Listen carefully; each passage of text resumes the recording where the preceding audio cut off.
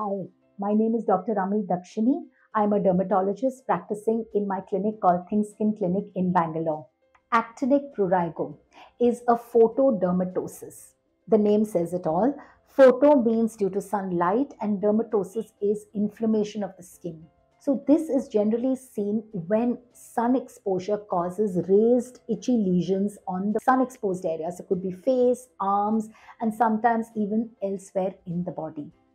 They start with itchy lesions, which then start becoming redder and inflamed and raised from the surface of the skin.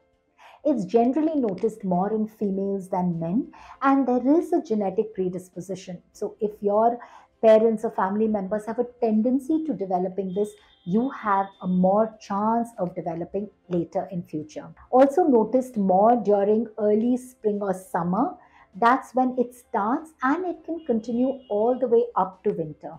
The most important treatment for actinic prurigo is prevention.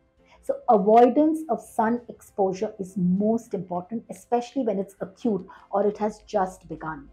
Complete sun avoidance. Second is sun protection. Use of a good broad spectrum sunscreen which covers both ultraviolet A as well as B.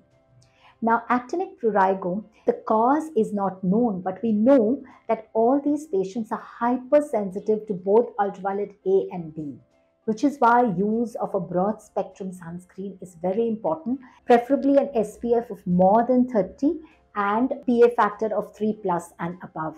The next thing that you can do is a physical barrier. So if you are close to sunlight or the window or you're going outside, either wear a broad rimmed hat or use a scarf with goggles or shades so that your skin completely gets protected. We need topical treatment also, like a topical corticosteroid treatment, to immediately reduce the inflammation and the pain and swelling.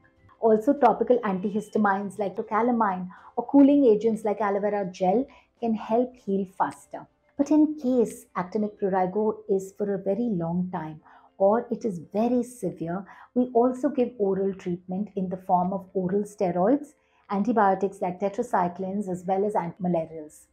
Now, the important thing to remember here is treatment is very critical. So, the minute you start noticing irritation, redness, or swelling on your face, do meet your dermatologist immediately. If you take much longer time, it can become more severe, more persistent, and sometimes it can get secondarily infected where you see pus-filled lesions. So a simple way to prevent is use a sunscreen daily, morning and afternoon. And if you're outside the whole time, use it every two to three hours to prevent prurigo.